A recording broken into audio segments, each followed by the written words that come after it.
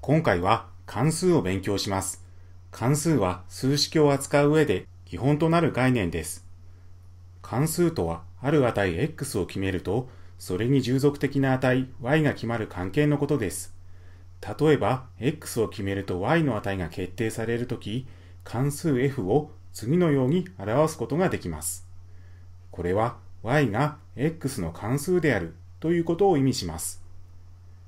こちらに関数 y イコール fx の例を示します。fx の形態がいくつか示されています。y イコール fx は、例えば、x に3をかけたものや、x に3をかけて2を足したもの、x を2乗して3をかけて、x の2倍を足して1を足したもの、などで表すことができます。これらはすべて x の値を決めることで y の値が従属的に決まります。それでは数学の関数とプログラミングの関数の違いについて解説します。数学における関数とプログラミングにおける関数には同じ名前が使われているので混乱のもとになってしまうかもしれません。数学における関数は y イコール fx のように表されますが、関数に入る値 x と処理が行われた上で関数から出ていく値 y があります。プログラミングにおける関数には関数に入っていく値として引数があり、関数から出ていく値として返り値があります。そういう意味で数学における関数と似ていますが、引数や返り値がない場合がある点が異なります。また、本コースではよく数学の関数をプログラミングの関数として実装しますが、数学の世界と異なり、コンピューターでは飛び飛びの値しか表現できないので、あくまで近似にしか過ぎません。このように数学の関数とプログラミングの関数は共通点もありますが、基本的には異なるものなので、違いを把握しておきましょう。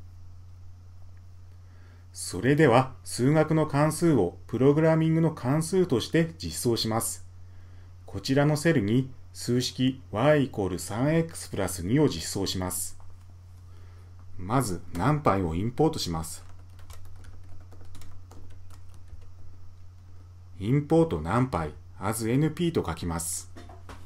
そして x イコール4と置きます。その次に def と書いて関数を書きます。my アンダーバー func と書きます。そして引数として x を受け取ります。この x は関数の外側にある x とは異なりますので注意しましょう。そしてリターンと書いて 3×x プラス2と書きます。この関数を呼び出します。y イコール my func と書いて x を引数として渡します。そして最後にこの y をプリントします。このリターンの行にある 3x プラス2は 3x プラス2の数式に相当します。また、y イコール myfunc の箇所は？Y イコール fx の式に相当します。それではこのセルを実行します。このように14という結果を得ることができました。3に4をかけて2を足して14ですね。以上により数学の関数をプログラミングの関数として実装することができました。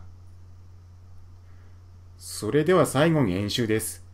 以下のコードを保管して数式 y イコール 4x プラス1をコードで実装しましょう。